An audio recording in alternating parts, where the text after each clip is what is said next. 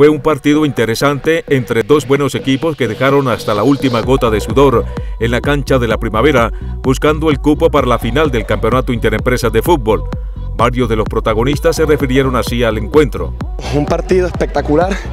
El horario nos permitió, la gente también nos permitió que ambos equipos demostráramos un nivel muy bueno del partido. Partido muy cerrado que sobre el final fue que pudimos concretarlo, pero no un bonito espectáculo y nos metimos a la final.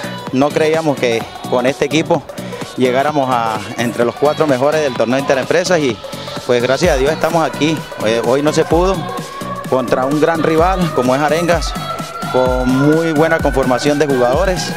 Y pues aquí dimos la pelea hasta lo último, se intentó, pero no se pudo y a la postre ellos fueron los ganadores. Dagoberto, eh, superaron al equipo de la Sí, porque era el campeón, era el que venía eh, con buenas expectativas para este campeonato, era este, rivalidad el, título que, había tenido el año pasado.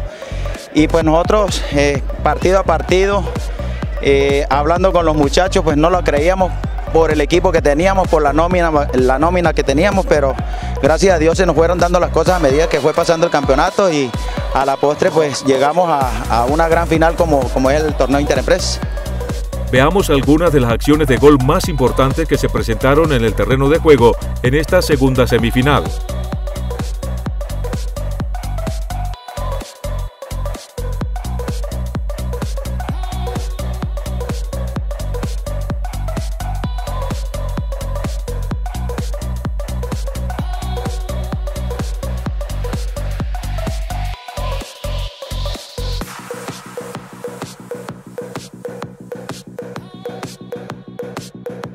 Arenga cierre tres eventos. Con esta victoria jugará la final frente a la Alcaldía Municipal y la Universidad Francisco de Paula Santander Ocaña jugará por el tercer puesto con el Hospital el sábado 16 de noviembre.